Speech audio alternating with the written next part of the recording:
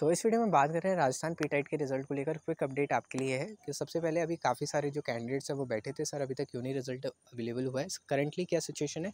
तो सबसे पहले इन्होंने आपके वैल्यूशन को कंप्लीट कर दिया है। लगभग ऑलमोस्ट आप कह सकते हैं, क्योंकि अगले हफ़्ते तक लोग कंप्लीट कर देंगे आपके वैल्यूशन और कम से कम अभी देखते हैं तो दस से बारह दिन का समय और ये लोग ले सकते हैं और मोस्ट प्रॉब्ली अगले हफ़्ते तक रिज़ल्ट आपका आ जाए।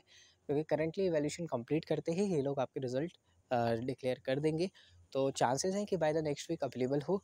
अभी के लिए मैंने चीज़ें आपको राजस्थान जेट के रिज़ल्ट को लेकर क्लियर कर दिया है। आगे के अपडेट्स के लिए चैनल को सब्सक्राइब करके रखिएगा।